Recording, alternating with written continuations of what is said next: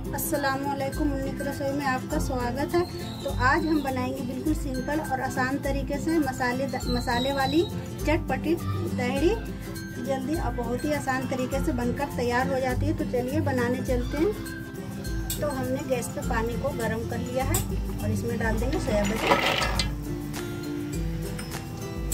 और इसको थोड़ी देर के लिए गर्म पानी में ही रख देंगे। सोया बड़ी, मुलायम हो जाएगी। इसमें डाल देंगे नमक।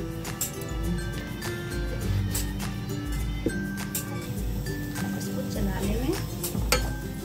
चलाकर दो मिनट के लिए ढक देंगे। तो हमें इसे दो मिनट ढके हुए हो चुका है और गैस को हमने बंद कर रखे हैं। तो अब हम इसको हटा लेंगे और इसको ठंडे पानी से धो लेंगे देखिए, बहुत ही अच्छे तरीके से सॉफ्ट हो चुका है, बिल्कुल गल मुलायम हो चुका है ये। तो हम इसको हटा लेते हैं। तो हम कुकर गैस पे रख लिया है। तो कुकर गर्म हो चुका है इसमें डाल देंगे ऑयल ऑयल गर्म हो चुका है तो इसमें डाल देंगे गरम मसाला। तो गरम मसाले में ले लिया दो तेज पत्ता, एक बड़ी इलायची, दालचीनी ले लिया है। और जीरा, काली मिर्च, छोटी इलायची, लौंग, जो भी मसाले हैं सब ले लिया है। थोड़ा चलाने देंगे। अब हम यहाँ पर डाल देंगे दो बड़ी टाइप के प्याज, जो हमने काट लिया है। इसको गोल्डन होने तक फ्राई कर लेंगे। प्याज हल्का गोल्डन हो चुका है, इसमें डाल देंगे चिकन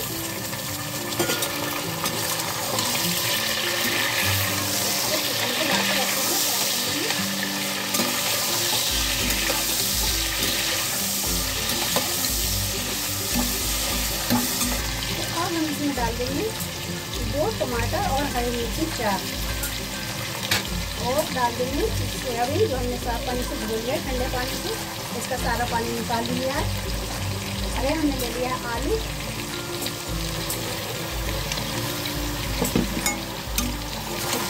सारी चीज़ें को एक साथ हमें।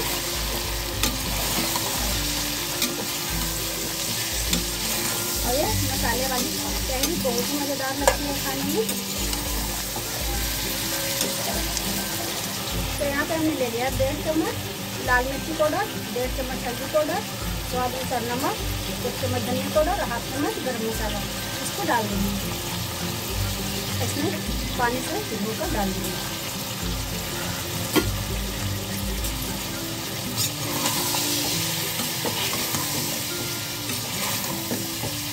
हल्दी हमने इसलिए ज़्यादा लिया कि इसमें हल्दी ज़्यादा पड़ता है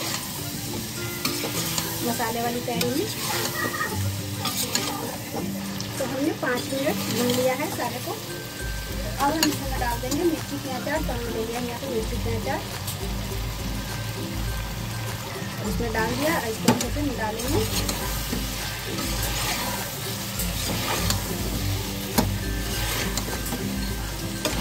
चावल। और अब डाल देंगे इसमें पानी।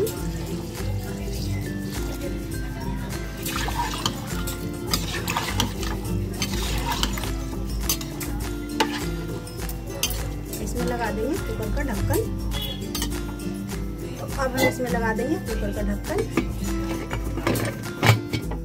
और एक सीटी लगाएँगे इसको हाई फ्लेम पे, अब फिर एक सीटी लगाएँगे मीडियम पे। तो हमने दो सीटी लगा लिया है और गैस को बंद कर दिया है और इसका प्रेशर हमने सारा निकाल लिया है। ये देखिए तेड़ी बनकर तैयार हो चुकी है। तो इसे हम प्लेट में निकाल लेंगे। चावल भी बिल्कुल पक चुका है सही से। तो देखिए, चटपटी मसालेदार, मसाले वाली तहड़ी बनकर तैयार हो चुकी है। और ये बहुत ही मज़ेदार बनकर तैयार होती है। बिल्कुल सिंपल और आसान तरीका है इसको बनाना। आप कभी भी, आपका जब भी मन करे खाने का तो आप इसे बनाकर खा सकते हैं। तो अगर हमारी वीडियो आपको पसंद आए तो वीडियो को लाइक करिए और चैनल को सब्सक्राइब करिए, अपने दोस्तों में भी शेयर करिए। तो इसी तरीके से फिर मिलेंगे नए वीडियो के साथ। जब तक के लिए अल्लाह हाफिज़।